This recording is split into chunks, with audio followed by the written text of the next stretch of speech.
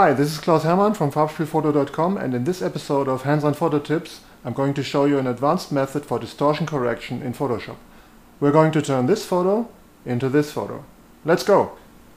Okay, so here we are in Photoshop CS6. The image is already opened. Um, just for a second ignore that we have blown out highlights and other issues with this image. This is not really relevant for this tutorial. This is just about the distortion of this image. As you see, um, this is obviously crooked, so um, it's uh, it's leaning towards the right, um, and you may think that a simple um, rotation would solve this problem, but the distortion is actually more complex um, because the sensor plane of the camera was not really parallel to that wall you see there. Um, when I took this image, the the right side of the wall here was closer to the camera than this side, the left side of the wall.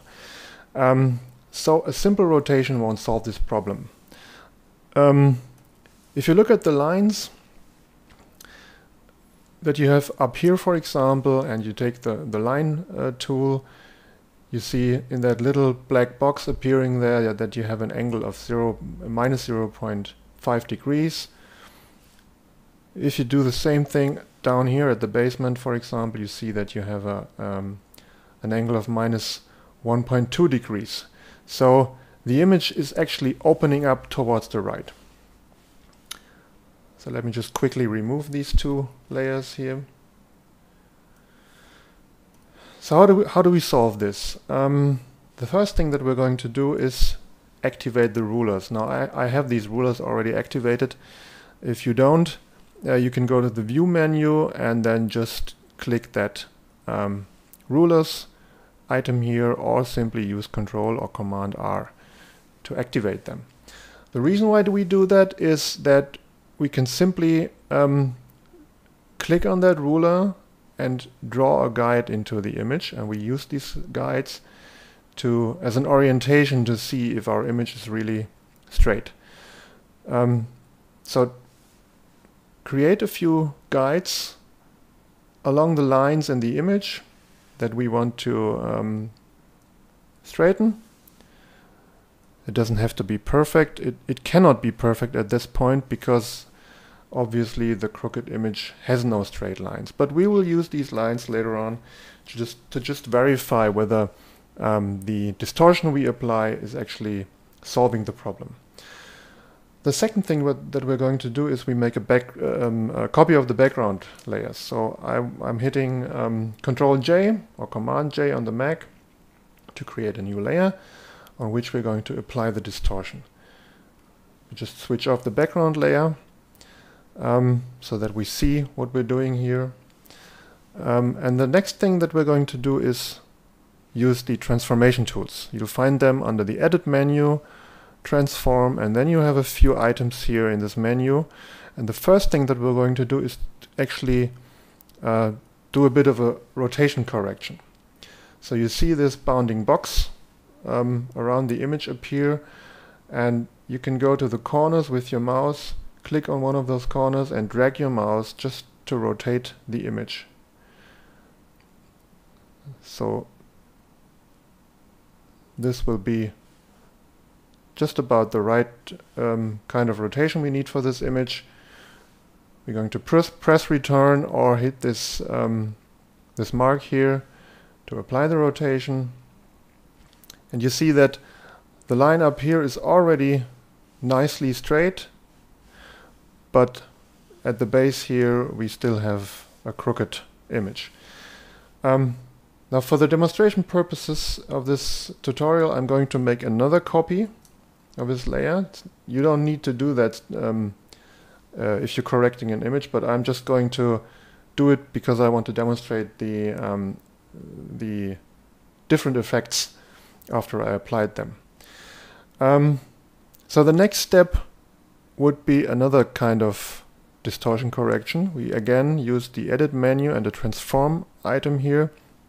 And this time we activate the distort tool. The distort tool again opens up such a rectangular box around the image with some handles here in the, at the, in the corners and on the edges.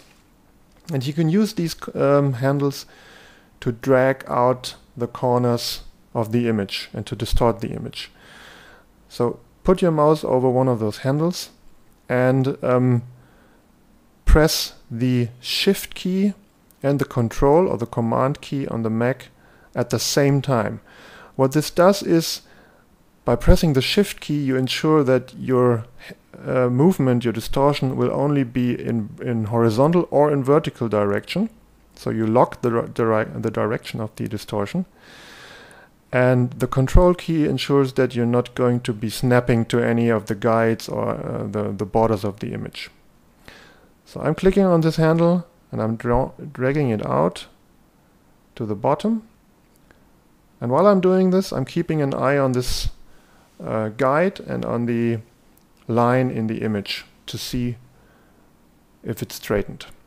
I'm doing the same thing at the top here. I still have the shift and the control key pressed.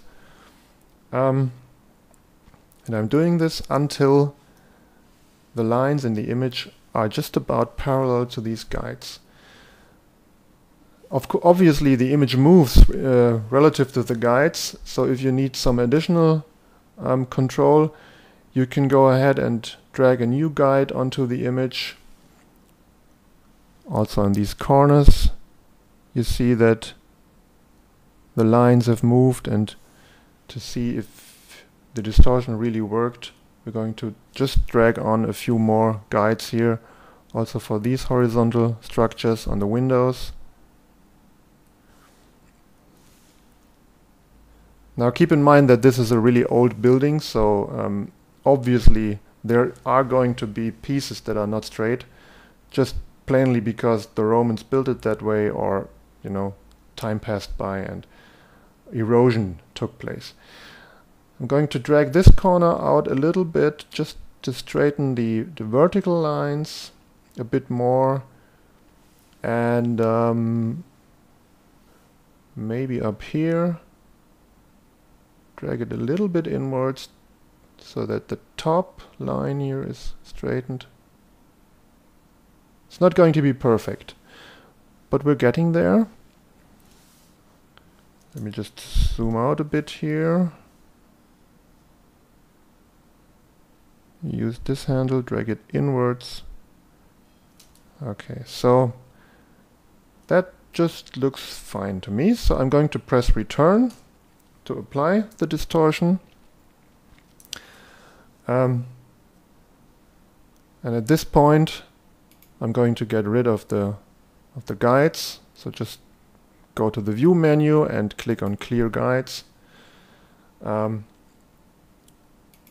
and this is the before and after. So we already managed to correct the distortion just using the, the rotation tool and the distort tool. Okay, as a result of using these two tools, um, you now see that um, we have some of the transparent background shining through at the on the edges. Let me just switch off this layer here so you can see it better. Um, the edges are not straight anymore, so it doesn't fit into the frame. We have the background shining through. And we're just going to cure that by using the crop tool. Now um, note that I'm using the classic mode here in CS6 because I just uh, it suits my need, needs better. So it may be it may look a bit different when you uh, are using this. Um, just grab these handles, pull the edges um, to the inside so that the um, transparent background doesn't show through anymore on all the four um, edges. The top seems okay. The left. So if if you have this effect that the oops, sorry that the crop box snaps to the edge of the image, just press the control or the command key um, on your keyboard and uh, the snapping is turned off. At the bottom the same. So we bring all the borders inside so that the background or that the, the edges are cleaned. Now one thing you would like to uh, watch out for this image is these lines at the bottom. So if I drag a guide into the image, you see that this line meets the edge of the frame here, while here this, this point where the line meets the edge, it's a bit further down. To make this symmetrical, just drag in the left side of the box so that it meets both lines meet the edge of the frame on the left and on the right at the same height. Hit return to apply the crop and we have a corrected image. Okay, so there's one final little thing that I would like to show you. If you look at the image right now, you see that the central element here, the telescope stand, is not at the very center of the image. So it's not symmetrical, not perfectly symmetrical.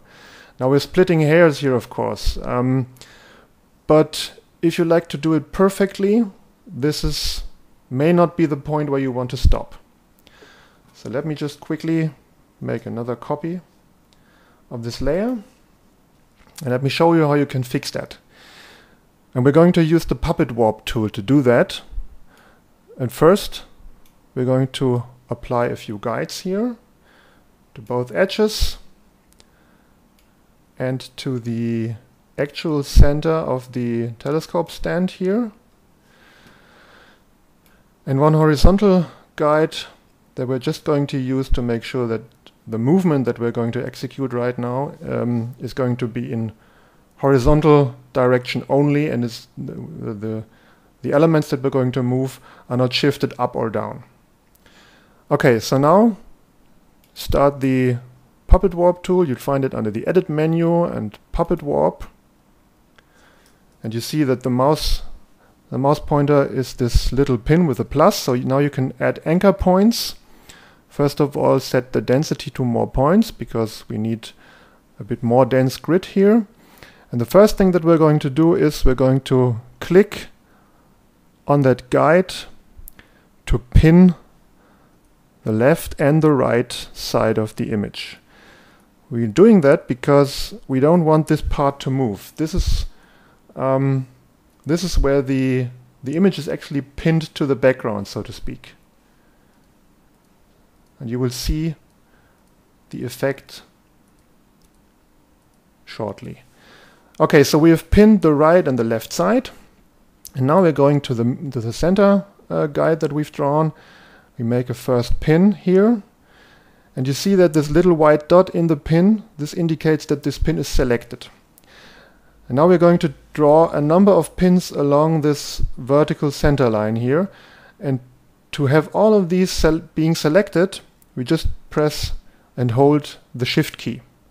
So hold the shift key and then click on that center guideline. This guide is important because um, we don't have to click exactly on the same line. All the, uh, these anchor points snap to this guideline. You also see that I have one point here right at the middle at the on the horizontal line, uh, which we can use to verify that uh, the movement doesn't go up and down, but only left to right. Okay, so the next thing we will do is add an additional guide and let that guide snap to the center of the image. So this new guide marks the position where we want this telescope stand to be. Now only click and hold on one of these points and drag it to this new guideline. The points will snap to this guide and you see that now the telescope stand is right in the center of the image. All the other parts of the image have been distorted slightly to make this move possible. The right and the left edges remained in the exact same position where they were. If we would have left away these or uh, these anchor points at the left or at the right, um, the whole image would have moved. So that's the reason why we pinned the right and the left side. Okay, just click on the mark here to apply the distortion and we're done. Clear the guides in the view menu and now you can verify the effects of the image, of the distortions that we applied. So this is the before, this is the after. The first step was just a rotation The second step was a distortion to, to uh, straighten all the horizontal lines. And the final step was a bit of puppet warp to center the telescope stand. So this completes our tutorial on advanced distortion correction. I hope you found it useful. See you next time. Bye bye.